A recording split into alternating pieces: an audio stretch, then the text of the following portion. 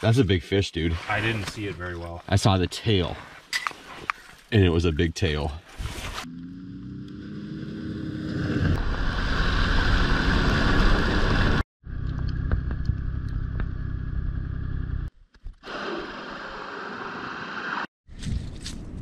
All right, well, we're on the board. This one's a little smaller than we're looking for.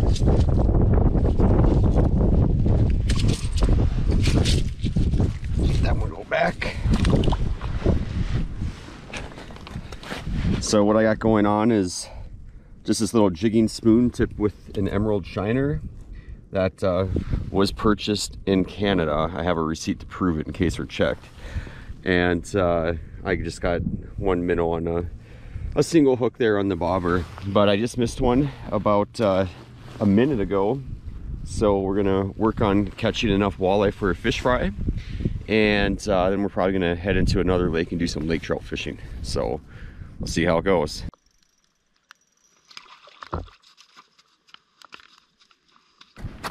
Well, I got two decent ones on the ice now. Kevin, it's right here. Oh, it's right there. Oh, don't use your hand, shit. Well, these gloves are fine. Oh, oh, it's not that big. Crap, I thought it was bigger than it.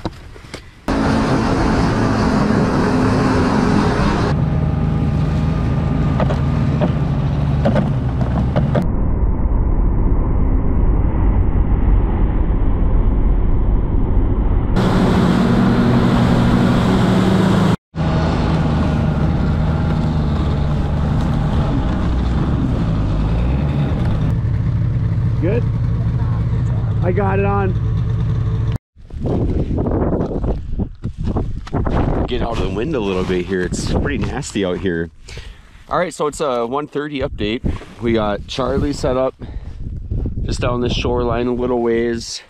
What I'm gonna do here is drop down the Cisco and I am in I got a little sinker on here, assist with that. Um, so I'm in 50 feet of water right here, and I'm gonna set up my jigging hole right over here. I'm guessing that's probably gonna be in 35 feet of water. And then we got this larger island right here, and then there's a handful of smaller ones. So hopefully this is a nice little area where they kind of work those bait fish around and we'll see if we can get into a nice lake trout. I don't know. I had to. He was squealing, Okay. and uh, so I had to tight. Oh my god. Had to tighten my drag. I, uh, my drag isn't. I don't know how tight it is, but it's. uh He's decent at a bare minimum. You don't have, is he out down a ways, you think? You have I have no idea. I have no idea. Wish we had a bigger hole if it's a giant. That's a big fish, dude. I didn't see it very well. I saw the tail. And it was a big tail.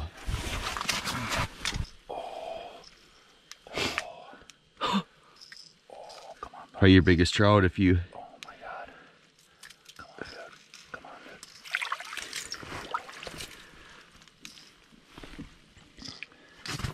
dude. Oh my gosh. He's not gonna turn. See, he's hooked on the outside. Is that his head? No. Nope. It's gonna be fucking hard. Right when he walked out, he was like almost. He, I thought he was maybe gonna put his head up the hole. Good lord. Oh man. I don't know if I can grab it by the tail. I no, that's just I definitely don't want to make you lose it. Oh, we almost got it. Oh my god! He just did one little head shake and it was snapped. That was big. Oh, that was big. I got back about uh, half hour ago. Got kind of chilled out there, and I figured, well, that's about enough for for today.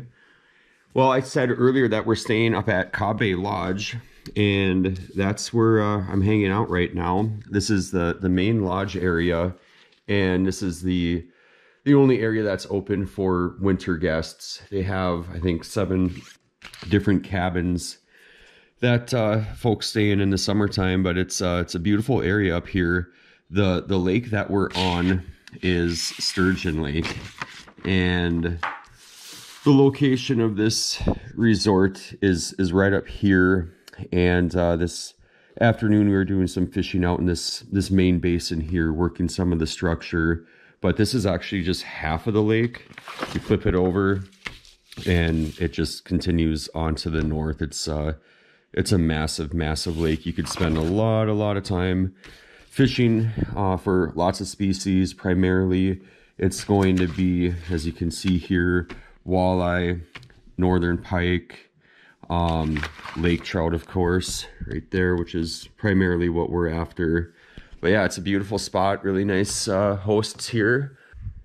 The owner, Jamie, brought us out and about today, did, did a little guiding for us and put us on some fish. So it's a Super Bowl on Sunday, and we're to have a good fish fry. But we'll wait for the rest to trickle in. They're out fishing the eel pout, ling, burbot, whatever you want to call it. And they'll probably be back here in about an hour and a half or so. But I'm to get settled in and relax. All right, final day of fishing. It's uh, about 7.30 right now and we're all going to make the long haul. It's uh, nearly a 30 mile snowmobile ride uh, one way. So we're getting a good early start. Hopefully the trout have turned on today and we uh, have our fish in a matter of no time. All right, let's get this journey started.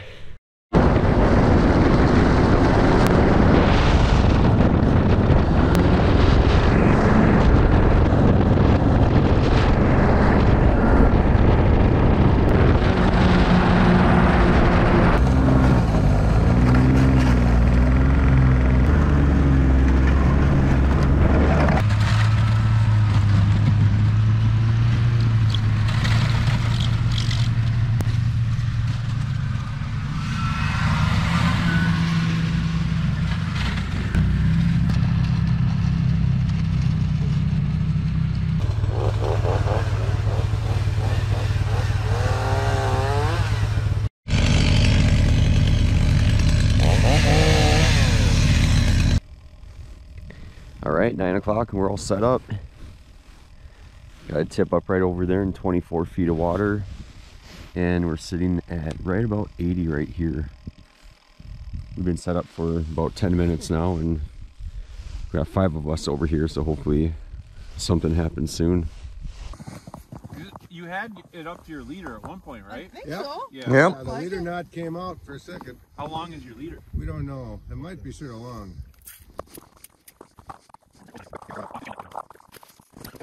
What hooks do you have? I have on uh, the eel pout thumper. It's got one little treble. The white Yep. glow deal with the one treble. Boy.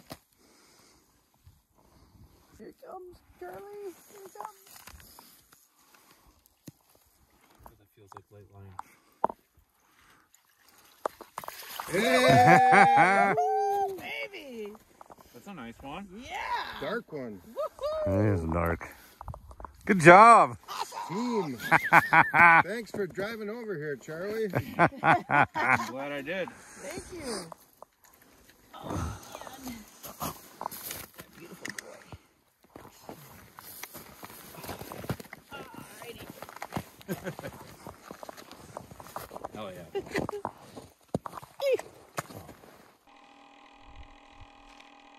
There's one right on bottom. I just uh, set up. Oh my gosh, it's gonna come up. Slow the presentation down a little bit.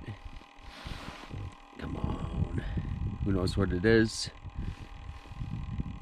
But I just got set up at a new spot. Got the tip up right in front of me. That's tipped with a Cisco sitting right on bottom. We are in about 56 feet of water situated off this little point here. It's 12:45 right now, and I think what I'm going to do is give it possibly until two o'clock. We'll see. Hopefully, I get a fish in the next uh, few minutes, and I can rock and roll. But the plan is I'm gonna hike around that area that I scouted yesterday that looked fairly promising for for moose sheds and see see if we can find anything over there and then we're gonna head on back to the lodge the rest of the day is gonna go by really fast so just make the most of it and hopefully we can put one one trout on the ice. That would be nice. But it is really really really nice out here today. It makes all the difference not having that horrible wind.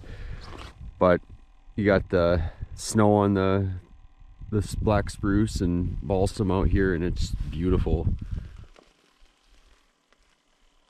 pretty tough to beat this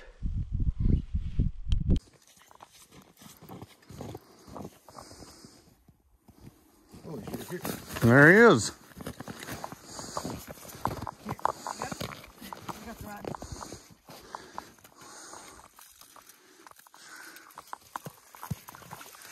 Oh, beautiful. Thinks he's an eel. Yeah, he does.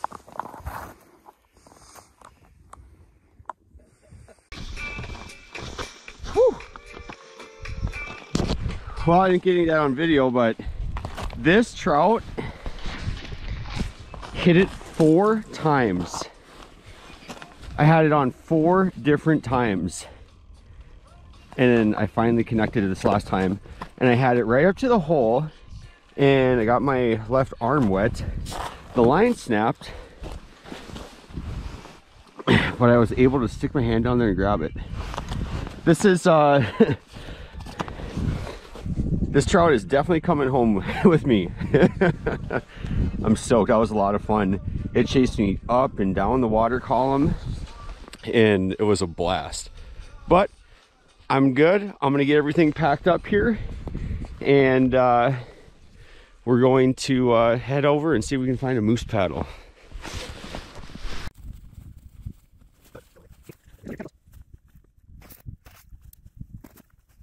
There he is.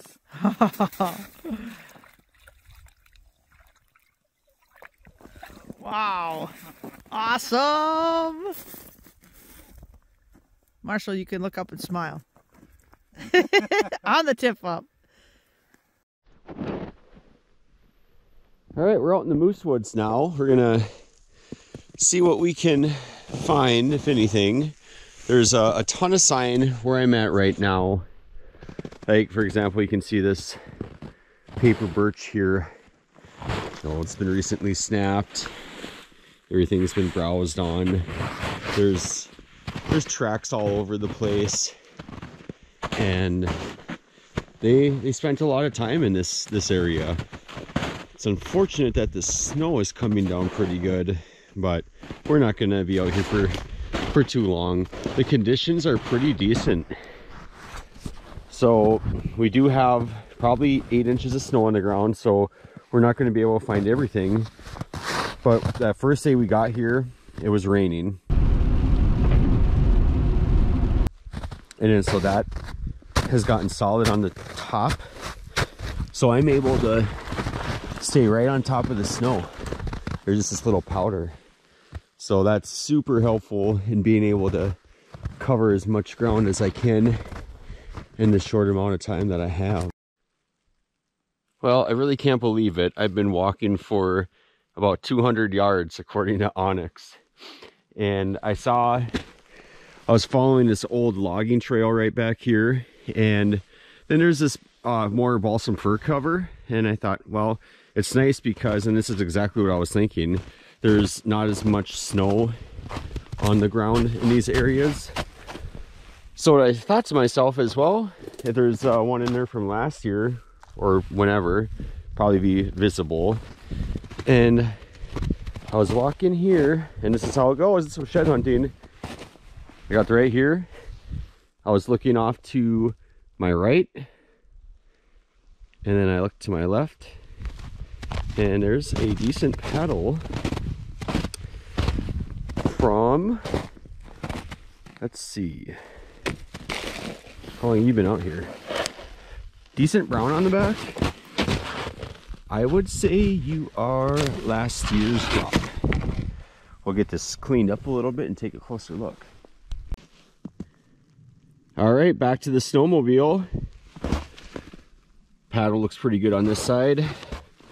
and I would say, well, that snow was really starting to come down, and the snow got deeper when I got into the more open areas, and that was enough to make it pretty challenging. But I did put on a mile and a half back there, and uh, yeah, I would say, I would say we're pretty successful. So I'm going to uh, pack up here and start snowmobiling back to the lodge, and we're gonna have a big fish fry tonight and watch the Super Bowl.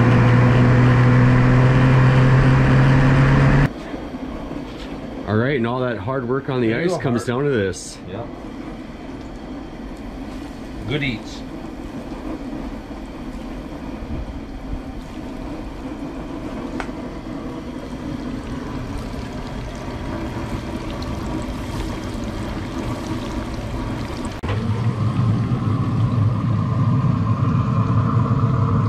Pouch. Is there powder there too? Pout, pout, lake, yeah, there's yellow perch, walleye, lake trout, pout, You name it, it's in here. Belvedere, Illinois. and we're watching the Super Bowl here this evening. And we got a special Super Bowl cake. All right, well, it's our last night up here at Cobb Bay Lodge. We had some wonderful hosts back here, Jamie, Sherry, and uh, when you come up here, you get treated really well, and uh, the fishing is excellent, and the time is great. So, this is what it's all about. Cheers.